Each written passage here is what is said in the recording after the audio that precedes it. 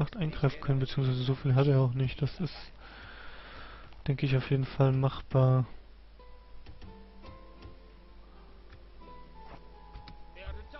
Eins, zwei, drei, vier, fünf. Passt. So, der geht darüber. Alles klar soweit. Ja.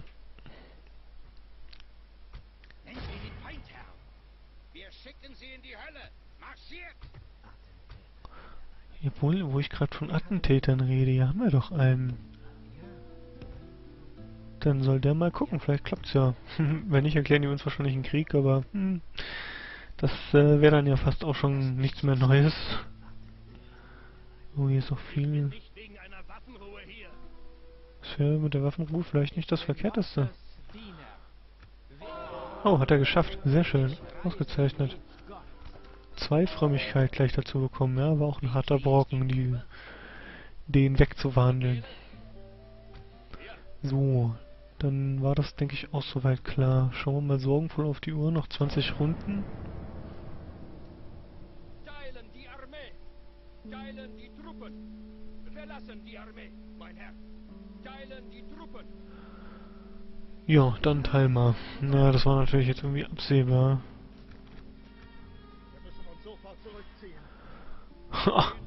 Eine Riesenarmee nach der anderen. So, was haben wir denn da Feines? Da haben wir den Papst mal wieder. Mal gucken, was er alles so mitbringt. Nicht wenig. Wieder diese nervigen Armbrustschützen.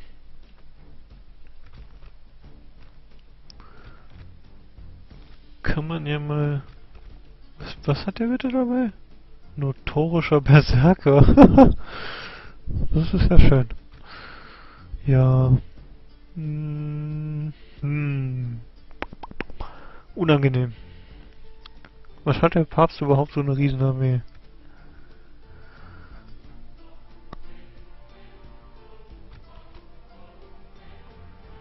Machen wir einfach mal selber. Schauen wir mal, was bei rumkommt.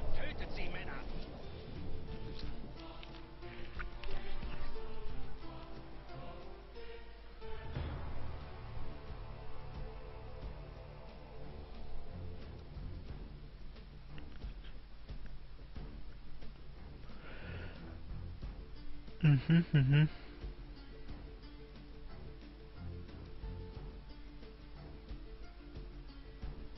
Ist ja interessant. Brief an König Guy. Nur denn. So, da, was ist das? Ach so. ja, der Belagerungsexperte war noch nie in seinem Leben eine Belagerung gekämpft. Das macht sich jetzt natürlich ein bisschen bemerkbar. Oh, nein, nein, nein, nein. Genau, das ist dann schon eher, was wir haben wollen. Äh...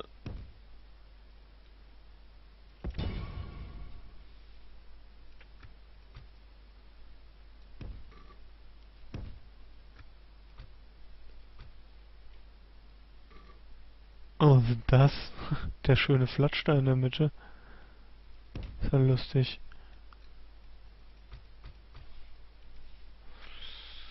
Jo, ich möchte eigentlich auch ungern näher ran, im Endeffekt, weil...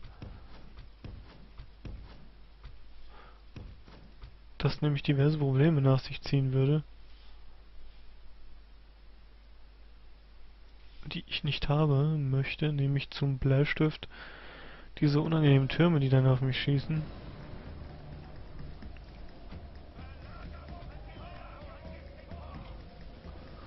So, und da kommen sie.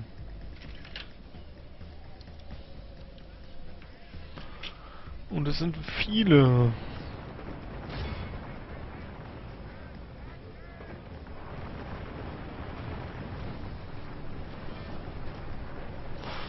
Ja, ich sehe schon, das ist genau das, was ich mir gedacht habe, was jetzt passiert. Ich krieg von den Türmen drauf, aber wie?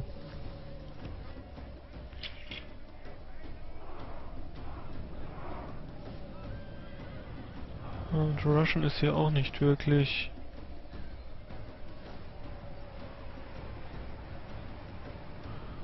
Äh, das ist mir etwas zu haarig. Wenn wir standhaft und aufrichtig bleiben, ist der Sieg unser.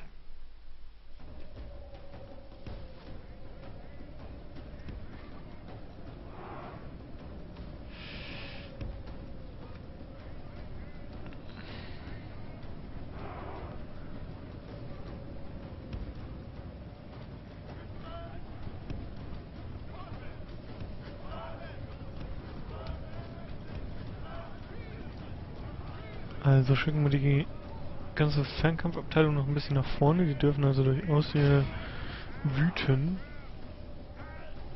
Ansonsten lassen wir uns aber mal eher zurückfallen. Da kommt die Verstärkung.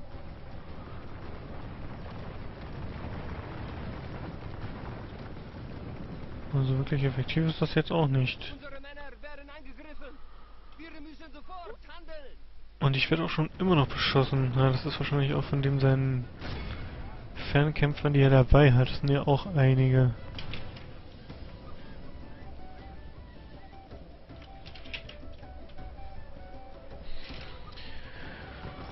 Aber so, dann wir mal wieder ein bisschen mit der Kavallerie auch.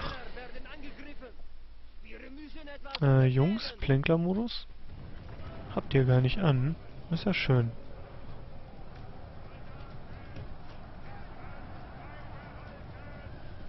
So, man sollte ja meinen, dass so eine riesige Kavalleriearmee eigentlich in der Lage ist, die ja Platz zu machen.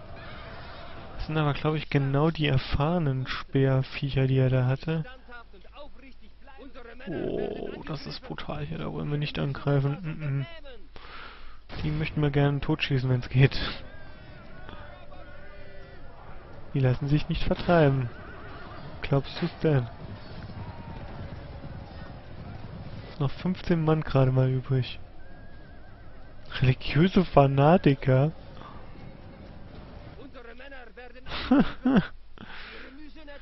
ja, wenn die ganze gesamte Armee vom Papst sich so schlägt wie die hier, dann wird das nichts mehr.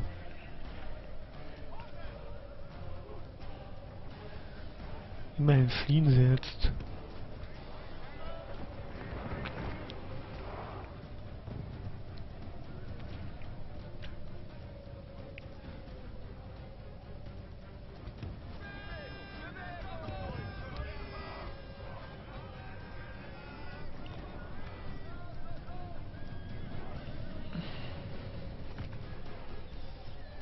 Was mir gerade mal so auffällt, da kommt so einiges an.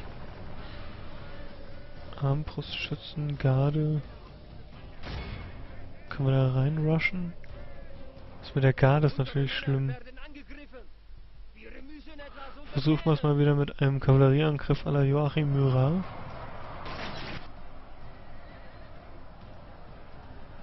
Also aus der Kategorie einfach alles drauf und mal hoffen, dass es klappt. Wow. Da will's die päpstliche Garde jetzt aber wissen. Es ist unklug, den Tag vor dem Abend zu loben. Aber unsere Männer gewinnen die Was machen die da eigentlich? Die schießen, wenn sie im Nahkampf sind. Ja, das ist ja schön.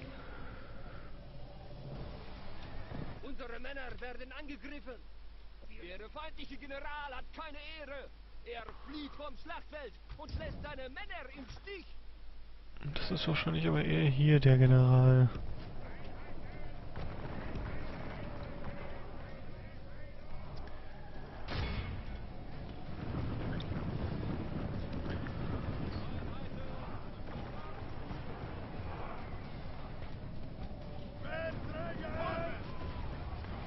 Was knallt denn da so? Das hat sich bald angehört wie, wie Artillerie.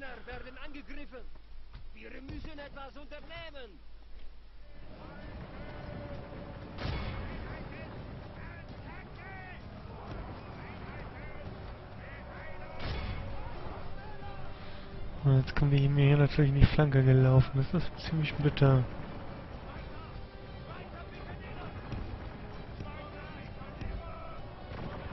Was macht ihr hier? Das habe ich aber nicht befohlen. Das ist wieder die geniale Wegfindung dieses Spiels hier, die wir hier gerade live erleben dürfen. Ach Jungs.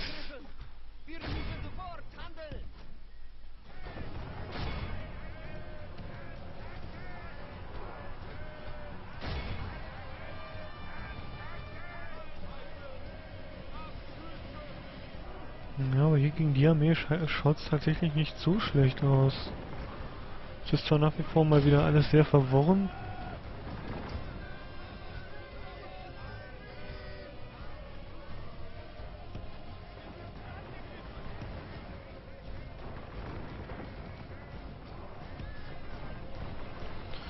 Wahrscheinlich macht der Fernkampf doch ein bisschen was aus.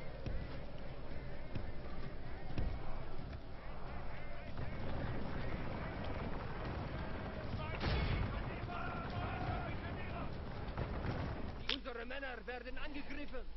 Wir müssen etwas Bestimmt, die Schweizer reißen es raus. Das Problem ist natürlich, jetzt ist er mir hier schwerst in den Rücken marschiert.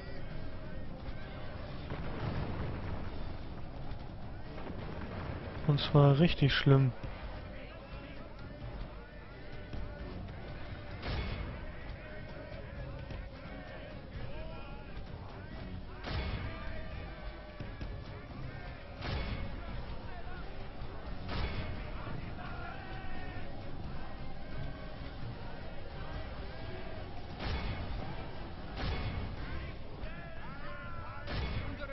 Werden angegriffen. Wir müssen sofort handeln.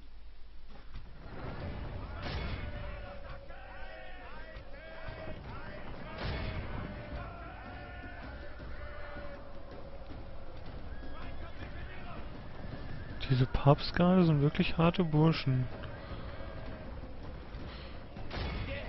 Ah, goddammit! ist zerschlagen auf dem Schlachtfeld. Unsere Männer werden angegriffen. Wir müssen sofort handeln. Was macht ihr denn hier vorne?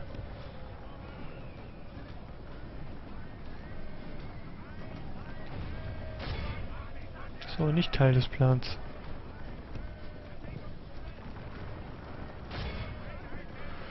Ja, diese päpstliche Garde, das ist... Hm,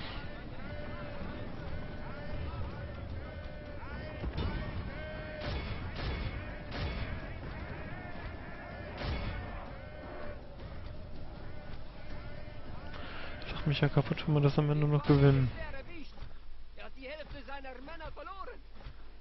Ich glaube, ich habe auch schon ein bisschen mehr als die Hälfte meiner Männer verloren. Kann mich da natürlich auch täuschen.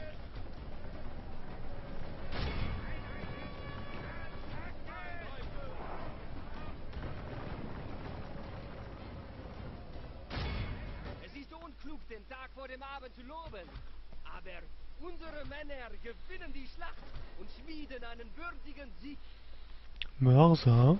Mhm. Ja, das ist ja hervorragend.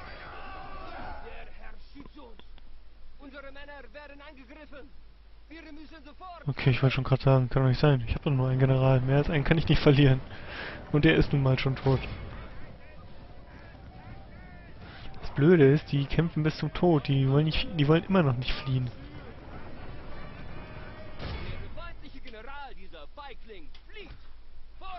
Naja, das ist doch schon mal ein Schritt in die richtige Richtung. Armee!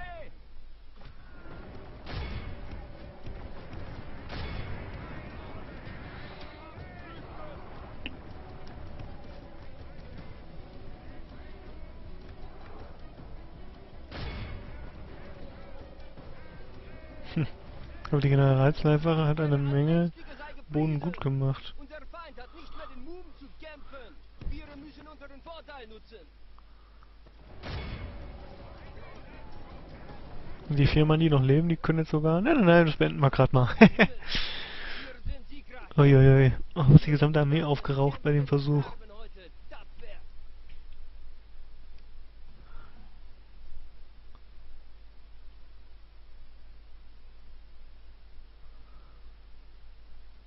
Nun komm. Gefangene hinrichten. Ausrauben. Ja, und schon haben wir eine Stadt mehr. Ausgezeichnet, hat doch gut geklappt, auch wenn zu einem ziemlich hohen Preis.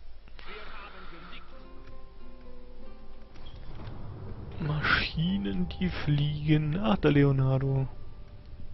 Leonardo da Vinci, ein italienischer Vordenker, berühmt für seine revolutionären Kunstwerke und geistreichen Erfindungen, hat die ehrgeizigste und unheimlichste Konstruktion erdacht. Seine Faszination für die Lehre des Fliegens gipfelt im Entwurf des Orn